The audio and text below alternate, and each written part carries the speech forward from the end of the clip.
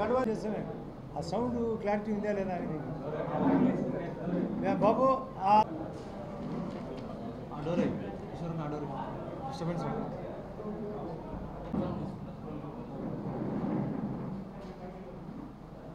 Phones కూడా ఒక నిమిషం ఉండదు చైర్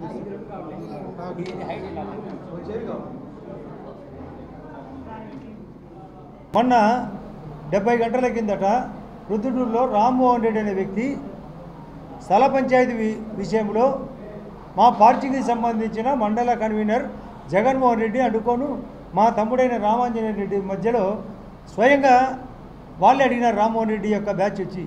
ఇది ఇద్దరి మధ్య పంచాయతీ ఉంది. ఒకసారి మీ దగ్గర కూర్చుంటామంటే మా తమ్ముడు రామ్మోహన్ రామాంజన్ రెడ్డి నాకంటే చిన్నవాడు. స్వయాన తమ్ముడు. ఒక పంచాయతీకి పిలవడం. ఒకరికొకరు వాదం ప్రతివాదం కొంత వివాదం జరగడం జరిగింది. ఆ వివాదం తర్వాత ఎవరి కొద్దీ వాళ్ళు సేకండ్ ఇచ్చుకొని వెళ్ళిపోవడం జరిగింది. కానీ కొన్ని గంటల తర్వాత అతను అన్ని రకాలుగా జబ్బు ఉన్నది ఆ రామ్మోహన్ రెడ్డికి. ఆ విషయాన్ని పోస్ట్ మార్టం రిపోర్ట్లో కూడా గుండెపోటు అని తెలిసింది కూడా. ఇది తెలుసు పోలీసుకు కానీ త్రీ టౌన్ సిఐ ఒక యాదవ్ త్రీ టౌన్ సిఐ. అదే పనిగా జగన్ రెడ్డిని మా తమ్ముడి పేరు మరొక తమ్ముడి శివరాణి రెడ్డి పేరు చెప్పు అని విపరీతంగా కొట్టాడంట. పెట్టు పేరు చెప్పు చెప్పు చెప్పు. నీ లేకుంటే మీ కుటుంబం ధ్వంసమవుతుంది నిన్ను ఎన్కౌంటర్ చేస్తానని కూడా మాట్లాడినాడంట. అయినా అతను చెప్పలే. జరిగిన మరుసటి రోజు మా రామంజరెడ్డిని పిలవడం మళ్ళీ ఇంటికి పంపడం జరిగింది. మళ్ళీ నిన్న మధ్యాహ్నము పది గంటలప్పుడు పొద్దున పది గంటలప్పుడు మళ్ళీ పిలిచి లేదు నీ సమక్షంలో జరిగింది కాబట్టి ఇది నీకే సంబంధం అని అటాచ్మెంట్ చేయడం. అసలు సాక్షి పేపర్లో వస్తుంది ముందు. సాక్షి పేపర్లో సాక్షి టీవీలో ఏమొస్తుందో అదే మరుసటి రోజు ఐటెం అవుతుంది ఆ ఐటెం వచ్చే ముందరగా ఈ టీవీలు డిస్ప్లే అవుతాయి. లేకుంటే వీళ్ళు చేయాలనుకునేది ఆ టీవీకి మెసేజ్ ఇస్తారు. అంటే తోడుదంగలు వీళ్ళు చెప్పేది వాళ్ళు చేస్తారు వాళ్ళు చెప్పేది వీళ్ళు రాస్తారు. లేదా టీవీలో అనౌన్స్ చేస్తారు. ఇది నిత్యకృత్యం ఇక్కడ కూడా ఉందా సాక్షి? నాకు తెలిసి లేదు. రాలే. రాదు ఎప్పుడు? అంతే. రామ్మోహన్ రెడ్డి కేస్ పరమ డోప్. మమ్మల్ని దృష్టిలో పెట్టుకొని మా కుటుంబాన్ని దెబ్బ కొట్టే దాంట్లో నాటకం. మా బీజేపీ పార్టీకి రంగు పూస్తారా?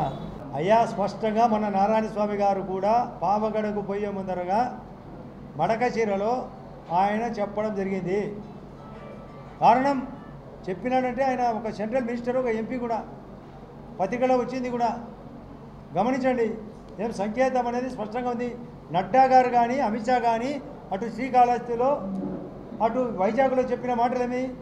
ఈ దరిద్రపు యొక్క ఆలోచనలు చెప్పినారంటే అర్థమేమని దీన్ని పక్కన పెడుతున్నామని. వాళ్ళను కలుపుకునేదానికి ఉద్దేశం ఏమి? ఈ రాష్ట్రం బాగుపడాలి? ఈ దేశం బాగుపడాలి? ఇంటర్లింక్ ఉంది. ఇంటర్లింక్ ఉంది కాబట్టి ఈ విధంగా చెప్పడం జరుగుతుంది. మేము కూడా సంకేతం లేకుండా ఏదో నేను ప్రెస్ మీట్ పెడతానే నాకేందో ఆదాయము నాకేందో నేను కిరీటం కావాలి నాకేం లేదు. ఈ గ్రామము ఈ పరిస్థితులు ఈ దేశము అసలు ప్రపంచ దేశాల్లో మేటి దేశం కావాలా? ఏ అయ్యా రాజకీయ ఎత్తుగడ. అది రాజకీయ ఎత్తుగడ. అంత తొందరపడాల్సిన అవసరం లేదు. ఎవరి కొద్దీ వాళ్ళు పికప్ అయ్యి అన్నీ కలిపితే ఏ మూడు నదులు పారి అలహాబాద్ కాడ త్రివేణి సంగమం జరుగుతుంది. అని యమున సరస్వతి అంటూ గంగ గంగలో కలుస్తాయి. మాది గంగ లాంటి పార్టీ. వస్తాయి కలుస్తాయి. ఇప్పుడు ఎందుకు కలుస్తాయి? ఇప్పుడు కలవలే మళ్ళీ. ఇప్పుడు ఇప్పుడు లేదు కదా నదులు డ్రైగా ఉన్నాయి. కలిసేటప్పుడు కలుస్తాయి వర్షాకాలంలో. ఎలక్షన్లు ఎత్తుగడ రాజకీయ ఎత్తుగడ అదే రాజకీయం. గంట గంటకు మాటకి జరగాల్సి జరగబోయేది నేను అడ్వాన్స్గా చెప్తున్నా. జరగాలని కోరుకుంటున్నాం. జరగబోతుందని అని చెప్తున్నాను గంట గంట కదా ఎలక్షన్లు నామినేషన్ అప్పుడు ఒక్కోసారి టికెట్ ఎక్స్ బదులు వైకి వస్తుంది. ఎందుకు వస్తుందంటే ఆ రోజు అధిష్టానం నిర్ణయం అధిష్టానం ఆలోచన ప్రకారం జరుగుతుంది అని చెప్తున్నా.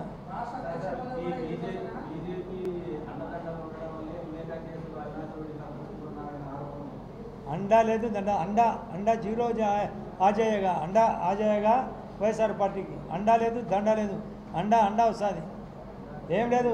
అసలు రాష్ట్రం మార్చేటప్పుడే అక్కడ సుప్రీంకోర్టులో సెంట్రల్ గవర్నమెంట్ తరఫున సాలిసిటర్ జనరల్ స్పష్టంగా ఇచ్చాడు మేము కూడా ఏకీపిస్తున్నాం రాష్ట్రం మార్చాల్సిందే అని. ఆ రోజు అక్కడికి మారేటప్పుడే కాదు ఎర్రగంగిరెడ్డి బెయిల్ రద్దప్పుడు కూడా మీరు ఆలోచించండి ఏం జరుగుతుంది సుప్రీంకోర్టులని. అవినాష్ రెడ్డికి ఇచ్చిన బెయిల్ కూడా క్యాన్సిల్ చేసింది. మళ్ళీ ఎన్నిసార్లు జరుగుతుంది ఇక్కడ జరుగుతుంది అతను కోర్టును అడ్డపెట్టుకుంటాడు మళ్ళీ కోర్టులో రిప్లే జరుగుతుంది. సెంట్రల్ గవర్నమెంట్ యొక్క తరపున స్ట్రిక్ట్గా ఉన్నారు. మీరు పూర్తి అయితే చెప్పగలరు.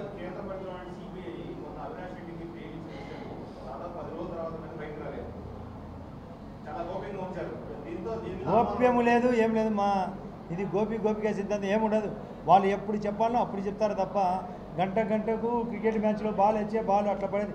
ఇది క్రికెట్ రిలే కాదు. సిబిఐ డిపార్ట్మెంటు లోతుగా పరిశోధనాత్మకంగా పరిశీలనాత్మకంగా పనిచేస్తుంది. అట్టే ఉంటుంది తప్ప డిస్ప్లే చేస్తాడు అది కాదు అట్లా డిస్ప్లే చేయకూడదు కూడా. వాళ్ళు సరైన సమయంలో చెప్పినారు. లోకసభకు కూడా అందించారు కాపీ. లోకసభ సచివాలయం కూడా అవినాష్ రెడ్డి ఎయిత్ అక్యూజుడ్గా చేరడం హైకోర్టు చెప్పినందుకు బెయిల్ ఇచ్చినామని రెండు స్పష్టంగా చెప్పడం సచివాలయం కూడా ప్రకటన చేయడం జరిగిందంటే అయిపోయింది సీను. ఎయిత్ అక్యూజుడు లోకసభ సచివాలయం చెప్పింది? లోక స- లోక లోకం అంటే మన లోకం ఓటర్లు చెప్తాను లోక సభ చెప్తాంది లోకంలోని జనం చెప్తాంది. జన్ చెప్తాంది జన సభ చెప్తాంది. కాబట్టి వాళ్ళ చీన్ వైఎస్ఆర్లు ఏడో ముద్దాయి భాస్కర్ రెడ్డి గారు ఎనిమిదో ముద్దాయి అవినాష్ రెడ్డి చెప్పలేదా? సిబిఐ కదా చెప్పినది ముద్దాయని. అయిపోయింది కదా మీ శీలం. మీ శీలము మా మీదకి శూలం చెక్కినారు మీ శీలం బయటకు వచ్చింది. ఒకసారి మీ బతుకు? మీరు ఏ పదవులు ఎందుకు?